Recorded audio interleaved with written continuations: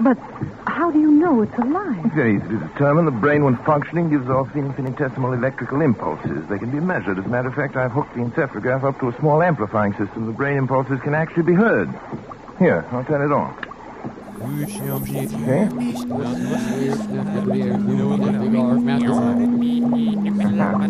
Quite effective, isn't it? Yes, it's effective.